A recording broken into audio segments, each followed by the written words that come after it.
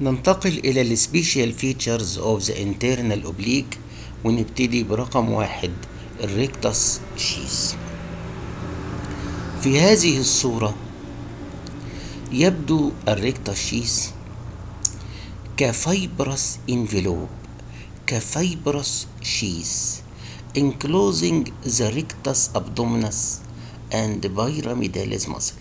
دي ال rectus abdominis. ودي ال pyramidalis من تحت.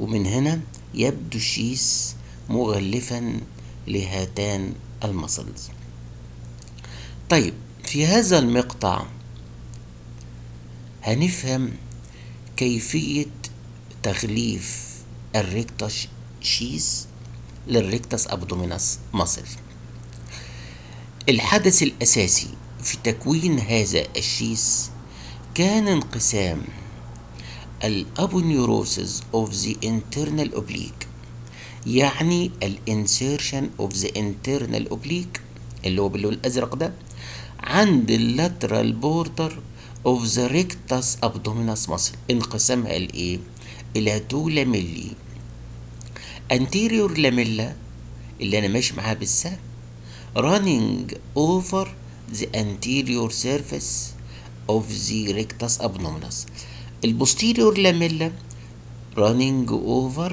أو running behind the posterior surface of rectus abdominis.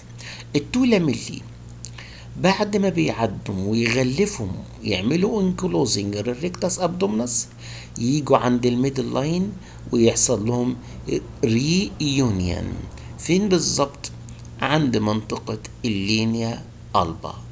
طيب بانقسام ال internal oblique aponeurosis عند ال lateral border of rectus abdominis ثم اتحاد ال two lamellae ثم اتحادهما مرة ثانية عند ال medial border عند ال linea alba. هيتكون ال rectus sheath لكن هل ده فقط هي مكونات ال rectus sheath؟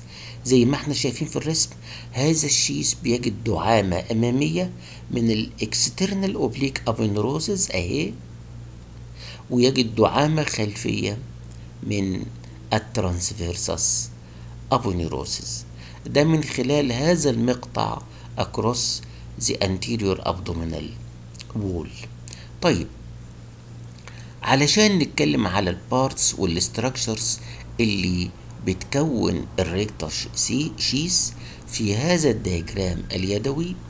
ده ال anterior abdominal wall ده ال thoracic cage ده ال sternum وال lower end of the sternum اللي هي كانت ال xiphisternum دي كانت ال umbilicus اللي تقع midway between the xiphisternum and the symphysis pubis والخط ده اسمه linea alba وهنشرحه بعد كده. ودي كانت ال inguinal ligament اللي اتكلمنا عليها في الفيديو اللي فات اللي هي كانت ال lower border of the external oblique aponeurosis وهي الحد الفاصل بين ال abdomen من أعلى والصي من اسفل دي الخريطة اللي أنا هرسم عليها ال rectus sheath ده كان diagram لل rectus sheath وبداخله توجد بداخله ال rectus abdominis muscle ال rectus sheath بيغلف ال rectus abdominis وماشي نفس ال course بتاعها ضيق من أسفل. حوالي 1 إنش واسع من أعلى حوالي 3 inches ونص لأنه ماشي مع ال course of the rectus abdominis muscle علشان نفهم ال structure وال parts of the rectus sheath هنرسم two imaginary lines. ال upper imaginary line هيمشي between the xiphoid process xiphisternum من أعلى وبين ال umbilicus من أسفل. ماشي؟ الخط الثاني هو ال lower imaginary line وهيمشي between the umbilicus من أعلى وال symphysis pubis من أسفل. وجود ال two imaginary lines ال upper وال lower imaginary lines هنقسم ال rectus sheath إلى 3 parts part 1 و part 2 و part 3 ال part 1 اللي بيقع above the upper imaginary line يعني من فوق من فوق مين؟ lower border of the costal margin. الخط الثاني أو ال part الثاني اللي هيقع ال upper and lower imaginary line. أما ال part الثالث اللي هيقع below the lower imaginary line بينها وبين ال inguinal ligament يبقى آه هنقسم ال rectus sheath إلى 3 parts دي التقسيمة الشائعة المعروفة. هناك تقسيمة أخرى بتقسمه إلى أربعة parts إحنا هنبعدها شوية ونخلينا في التقسيمة الكلاسيك اللي هي بتتكلم عن 3 parts في ال part الأول اللي بيقع above the upper imaginary line. عاوزين نشوف ال structure of the rectus sheath كان بيكون من إيه. آدي ال rectus abdominis muscle وآدي ال covering اللي مغطيها اللي عامل لها envelope اللي اسمه ال rectus sheath. هنجد إن ال anterior wall of the rectus sheath كان مكونا من aponeurosis بتاع عضلة واحدة فقط هي ال external oblique aponeurosis أما ال posterior wall of the rectus sheath كان عريان. كان deficient كان غير كامل. فقط هنجد ال muscle راكنة على الإيه؟ على ال costal cartilages خمسة وستة وسبعة. ونجد إن ال posterior wall هنا deficient طيب في ال part الثاني اللي بيقع between the upper and lower imaginary lines هنجد ال rectus sheath هنا complete له anterior wall وله posterior wall. ال anterior wall مكتمل وال posterior wall مكتمل. ال anterior wall بيعملوا two layers ال layer الأولانية هي ال external oblique aponeurosis وال layer الثانية هي ال anterior lamella of the internal oblique aponeurosis طب ال posterior wall في المنطقة الثانية كان معمول ب two layers ال layer الأولى اللي هي ال posterior lamella of the internal oblique aponeurosis وال layer الثانية اللي هي ال most deep اللي هي ال transversus.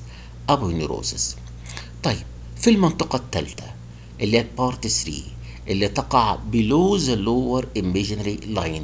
لماذا حددنا هذا ال line وقلنا إن اللي بيقع midway between the umbilicus and the symphysis pubis هو ال lower imaginary line لأن عند في تحت هذا الخط كان حصل تمرد. كان في تمرد لمين؟ تمرد لل posterior wall من هنا. ال posterior wall اللي كان مكونة طبقتين اتنين. حصل تمرد. رفضوا إنه يبقوا على وضعهم في ال posterior aspect of the rectus abdominis وتمردوا على حالتهم وقالوا هنبعد من ال posterior position وننتقل إلى ال anterior position هنا. فعلى هذا الأساس هنجد إن منطقة التمرد ديت حصل فيها هجرة لمين لكل ال posterior wall وراح جاي طالع مشكل ال anterior wall فعلى هذا الأساس نجد ال anterior wall هتشكله 3 structures إيه هما ال layer الأولانية هي ال external oblique aponeurosis ال layer اللي في النص هي ال two lamellae of the internal oblique ما ال internal oblique كان فيها 2 lamellae واحدة anterior واحدة posterior ال posterior راح جاية مهاجرة.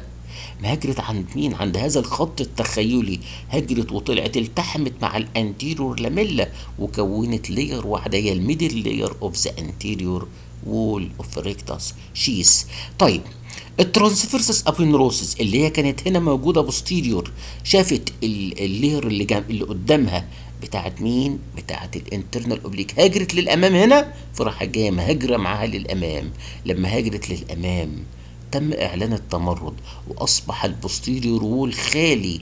مفيش فيه أي aponeurosis في فقط مين؟ في ال fascia transversalis. منطقة التمرد ديت اللي ال posterior wall بتاعها هنا في ال second part هاجر لل anterior wall منطقة التمرد هذه هي عبارة عن خط مقوس اسمه الخط المقوس أو arcuate line. arcuate جاية من arc.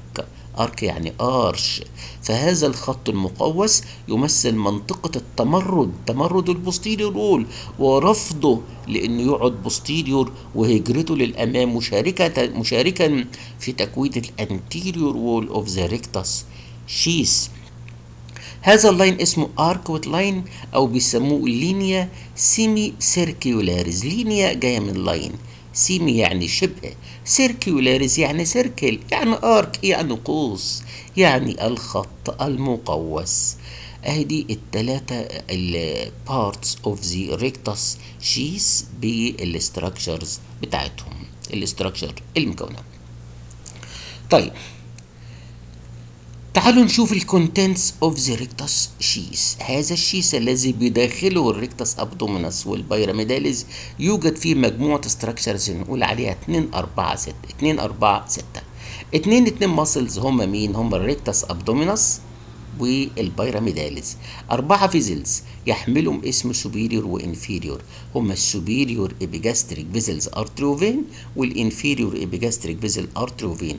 وستة nerves هي ال lower five intercostal and the subcostal nerve. اما هذا ال line المقوس بفكركم بيه هو ال linea semi circularis أو ال arcuate line. من الملاحظ من هذا ال diagram أن كل من ال contents المكون اللي هي ال vessels وال nerves تقع بين ال posterior wall of the rectus sheath وبين مين؟ وبين ال rectus abdominis muscle طيب إذا قلنا حتة كده على الماشي. إذا كان ده ال posterior wall of the rectus sheath فده ال linea semi circularis أو ال arcuate line يبقى المنطقة دي من ال rectus sheath هي المنطقة الثالثه ال part 3 يبقى ده مين ال posterior wall بتاع ال part 3 ال posterior wall اللي كانت بتعمله مين؟ ال fascia transversalis. أما ال posterior wall هنا فكان مختلف. ده في الطب ده في مين؟ ده في الطب ال part الثاني فكان بيشكله جزء من ال posterior lamella of the. جزء منه بال posterior lamella of the internal oblique والجزء الآخر بالمين بال transversus aponeurosis طيب. آه ال specific characteristic feature الثانية من ال internal oblique هي عضله اسمها cremasteric muscle إيه حكاية ال cremasteric muscle ده؟ هذا ال diagram موضح بيه. منطقة ال lower part of the abdomen ومنطقة ال thigh أدي ال inguinal ligament الحد الفاصل بينهم وأدي ال linea alba ال umbilicus وال symphysis pubis. دي كانت ال testis ال testis اللي قاعدة بداخل ال skin bag اللي اسمه ال scrotum طيب دي ال inguinal ligament اللي هي كانت مين؟ اللي هي كانت ال exter أو ال lower border of the external oblique aponeurosis لاحظ كده؟ آه. ال cremasteric muscle بتاعتنا. دي عبارة عن loop. loop من fibers من ال internal oblique fibers من ال internal oblique ماشي على شكل loop. هذا ال loop واخد شكل حرف ال U. طيب طالعه منين ال fibers دي؟ طالعه من ال middle part of the inguinal ligament هو إيه علاقة ال inguinal ligament بال internal oblique muscle مش إحنا أخدنا في ال origin of the internal oblique إنها بتطلع من أحد ال origins بتاعتها من ال lateral two thirds of inguinal ligament فهنجد من ال middle part ده جزء من ال origin of the internal oblique ال internal oblique هذا الجزء من ال origin ال fibers تمشي على شكل loop له حرف ال U بتنزل وتغلف تغطي ال testis بداخل ال scrotum وتلف وتعمل insertion في ال pubic tubercle هذه ال fibers بيسموها cremasteric muscle تاخد nerve supply منين؟ من nerve اسمه ال cremasteric nerve.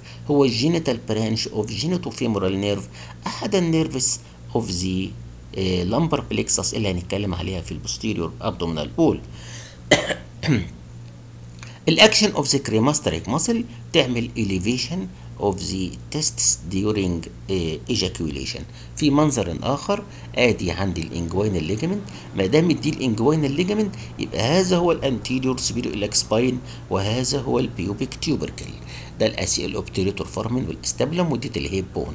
المصل بتاعتنا اللي اسمها cremasteric muscle.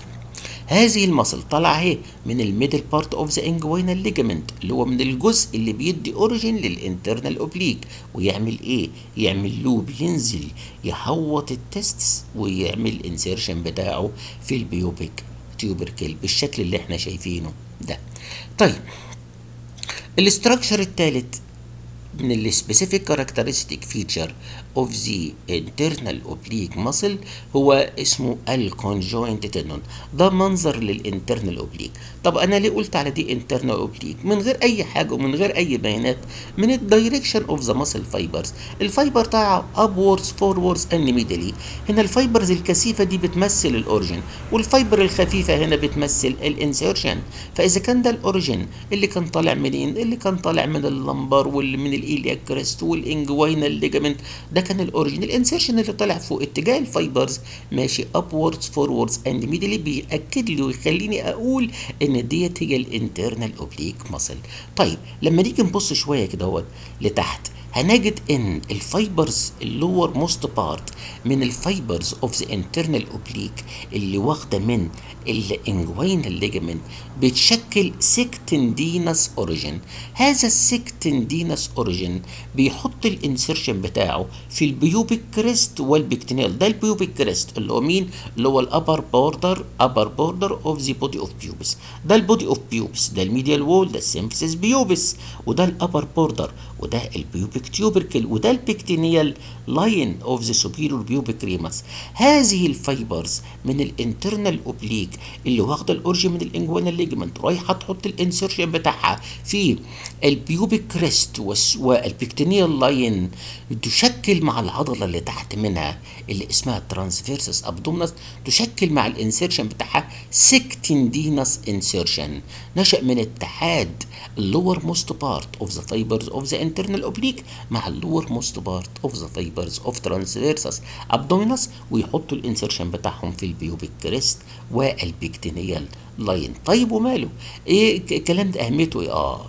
أهمية هذا الكلام إن هذا ال tendon بيشكل ال main support ال main لهذه المنطقة. هذه المنطقة بيشكل support لي ال inguinal canal كما إنه أيضا بيشكل support لل triangle هنا اسمه inguinal triangle إذا هذا ال tendon السميك اللي اسمه conjoint tendon لو شفنا في الرسمة اللي فاتت أهو أدي ال conjoint tendon هذا ال tendon القوي السميك الذي نشأ من اتحاد ال insertion the lowermost part of internal oblique مع most part of the transversus abdominis ومسك تحت في العظم. العظم اللي هو مين؟ في ال pubic crest وال superior وال pectineal line.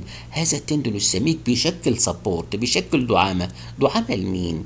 بيشكل دعامة لل inguinal canal و triangle اسمه inguinal ligament ليه؟ عشان يعمل لهم support ويمنع ما يح ما يعرف باسم بحدوث ما ي... defect في هذه المنطقة اسمه ال inguinal hernia هنتكلم عليه في المحاضرات